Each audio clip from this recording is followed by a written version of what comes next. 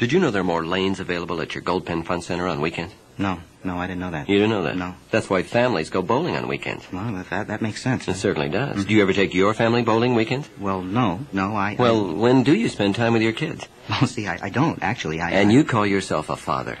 Gee, I hope not. I'm not even married. Well, why don't you go bowling this weekend? Maybe you'll meet a nice girl.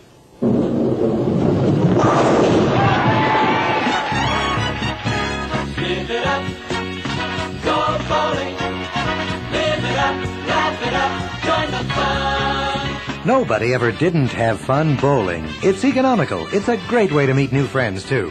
Lanes are available weekends or daytimes during the week. So live it up. Go bowling this weekend at your Gold Pin Fun Center.